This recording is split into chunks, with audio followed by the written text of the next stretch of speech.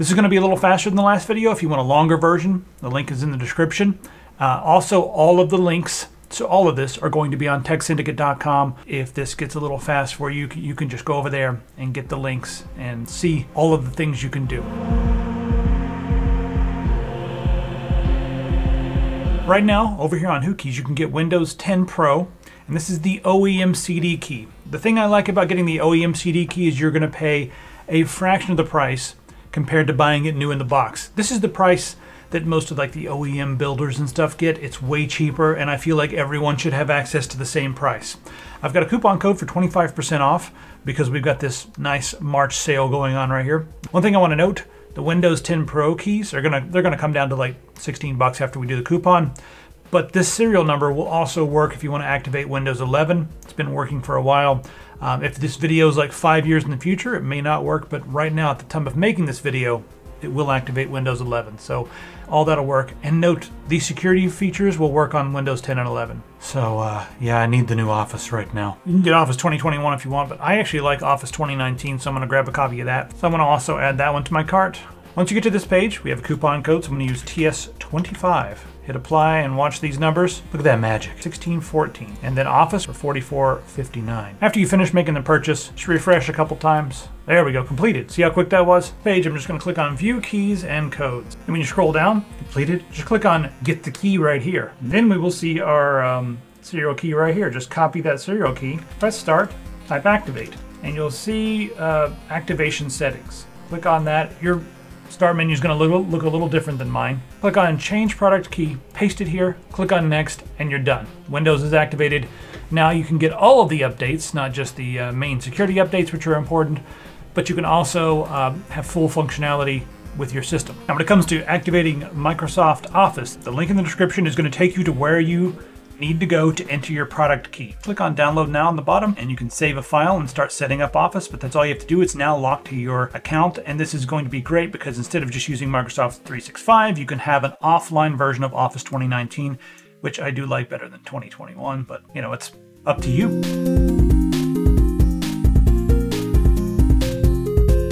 The first thing you can do in Windows, press the Start button, and then you can click on your username right here, and then click Change Account Settings. Now the first thing you'll see here says that Windows uh, is using a local account. If it is not using a local account, that means that you are signed in with a Microsoft account. And if you're signed on to your Microsoft account on your desktop computer, your laptop computer, and another computer, if that account gets compromised, all of those computers can be compromised. So it is always advised for security to use a local account.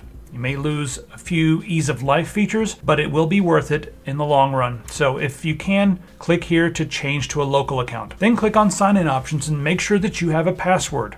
You have to be using a password and you need to be using a password to sign in every single time you sit down to your computer. So if you start your computer and it just goes straight into Windows, no. Go in here, click on sign in options, make sure you have a password set up. You can use a pen or any of these options that you like.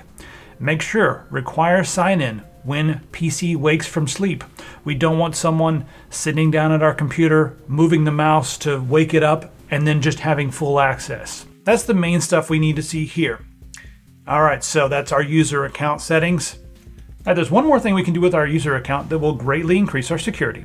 Press Windows key R and type net PL netplwiz. You might see a little checkbox here that says force this user to uh, use a password when they log in, make sure that that is checked. Mine's already automatically doing that, but uh, for some people you'll see that here. Click on Advanced, and then down here there's a checkbox that says require users to press Control Alt Delete to log in. What that'll do is when you first log in, you'll have a screen, and before you can put in your password, you're gonna have to press Control Alt Delete. And that's a great way to stop malware because sometimes malware will make a fake login screen but if you press Control Alt Delete, then you can bypass that because it'll open up the task manager and you'll be like, wait a minute, this is not my login screen. Next up, there's a very simple thing we can do just by going through our security settings by typing the or hitting the start button and typing security, and then going to Windows Security. That'll open up this panel. Now let's just go through this quickly. If you ever get a notification from Microsoft saying like, hey, security warning, you should log in to Microsoft, ignore it. It just wants you to log in so that they can track you. All right, so firewall and network, we can just check here to make sure that our firewall is on. Make sure that this is all set to on. If any of this says off, you need to click on this and turn it on. Need that turned on. And the last thing to do to lock down our user account here is press start again and type UAC. User account control settings, go there, bring it up to high, hit OK. The last thing you can do is just type update. Check for updates is what you want to click on. It'll bring you here. And then just make sure that automatic updates are on and you're up to date. That's important. Uh, no need to upgrade to Windows 11, but all these things will work on Windows 11 as well.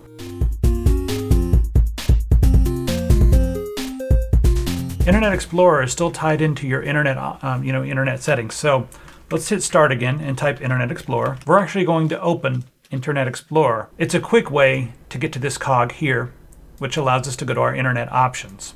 And from here, we have a security tab, Internet. Turn that up to high. This connects to Windows as a whole, not just Internet Explorer. Local Internet. You can enable that, put a check here. And then trusted sites, um, I go a little bit medium high on trusted sites and then restricted sites high. So just make sure that all these settings are on high, hit apply. So press start and type remote desktop. You don't want to open up remote desktop, the app. You want to go down to the remote desktop settings. And if this is turned on, turn it off. Disable remote desktop confirm. This will allow people to remotely access your computer. Only leave this on if you're doing something special in your house where you need to be able to access multiple machines from one location. And I do that here, but you don't have to have remote desktop turned on unless you're accessing this machine from another computer. So especially turn this off on laptops. You do not want people to be able to exploit and uh, have you know get remote desktop access if it's turned off. They just they're not going to be able to get access to it. Most threats come from the outside world, and there's one way that we can really uh, cut down on the risks, and that is by running a DNS server that will automatically filter out lots and lots of garbage. I'm not going to go into the details of what a DNS server is in this video, that's beyond the scope of this, but there are multiple different ways to do that. The easiest is to use a VPN that has its own DNS server built in. So that way, if you're going to a website that's malicious, it will just be like, nope, this website's garbage. You shouldn't even go to it. I use private internet access. It's my favorite VPN because of the price to performance ratio is really, really good. But it also has something built in. A VPN will not protect you if you're going to bad websites unless it has this feature. Under network here, we have a selection of DNSs. We can use our own DNS or we can use the PIA DNS. Now, what's going to happen when you use this you will be using their lookup server. So if you type, you know, teksyndicate.com or whatever into your browser, it's going to ask the PIA DNS server, is this a safe website? And their DNS server filters out all kinds of garbage. So when you're using this, you are far more protected than when you are just using the internet naked. If you are a little more advanced, you can get a Raspberry Pi and run something called Pi-hole. I might make a separate video about that, but you can essentially run your own DNS server at your house and filter all your traffic through that and block all the bad stuff. But this is the easiest way to do it, and you should be using a VPN uh, most of the time anyway, in my opinion. So this is my recommendation. Links in the description. We do have an affiliate account with them, so just so you know. But I've used them for seven or eight years now, and I, I on all my computers, so I can vouch for them. Especially if you're on a laptop, encrypt your hard drive. In order to encrypt your hard drive, you'll need to go into your UEFI, which means restarting your computer, pressing the delete or the F2 key until you get into uh, your, your UEFI or your BIOS, and then enabling the trusted platform module. But after you've gone into the UEFI and enabled that, you can turn on BitLocker. Now, BitLocker is pretty cool because if someone were to steal your laptop and try to log in and you've got it all password protected and you've done everything else in this video, they won't be able to get in, but they can still take out the hard drive and access the data on that hard drive unless you're using BitLocker because BitLocker encrypts everything on the drive. So I highly recommend turning that on. Be sure that you save um, the file that you it, will generate like an encryption file. Be sure you save that somewhere safe. You can even write it down on a piece of paper, print it out, and hide it somewhere. As long as it's not kept in the same bag as your laptop. You don't want someone to steal your laptop and have your encryption key. Before we go on, I want to remind everybody that Whokeys has sponsored this video. They also have physical goods now. Check that out. All these little keyboards and stuff. So while you're grabbing your copy of Windows and Office, you can also browse around and see what else they have. Thanks to Whokeys, now back to the video. One, HTTPS everywhere. If you ever go to a website that's HTTP, it forces you to try to go to the HTTPS version instead. Next up is Ghostery. Now, Ghostery uh, does a lot of things to confuse everything that's always tracking you on the internet. So I recommend using this just to block a lot of the garbage that's tracking you. It confuses it, it, it, messes with cookies, it keeps things basically clean and safe. And then the last thing, this one is um, a bit of an overkill for a lot of people because it will break a lot of websites, but this is called NoScript.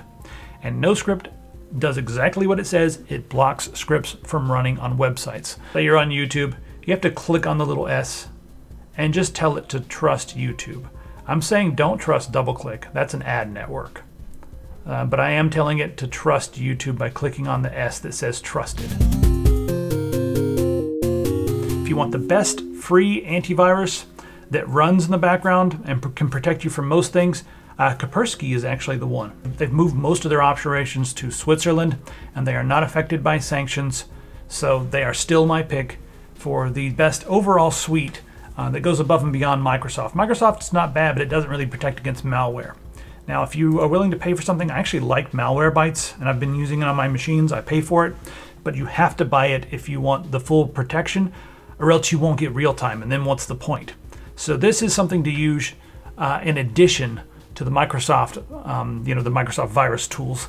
Microsoft will take care of the viruses, this will take care of the malware, and it will filter websites as you're going to them and stuff like that. In the other video, I also covered uh, blocking Windows telemetry a little bit more. I didn't cover that in this video. The Windows URLs are not malicious, they're just telemetry, but I do like to block those, and I block them uh, using a few different methods. So if you want videos specifically on any of those things, let me know. This one hopefully is just a little faster and easier to follow video than the one we made a couple of days ago. So let me know what you think in the comments. If you have any questions about your security, please post them on the website and we will see you there. One last thanks to our sponsor Whokeys who made this video possible. Get Windows, get it secured, and check out some of the other stuff they have over at whokeys.com. Links are all in the top of the description.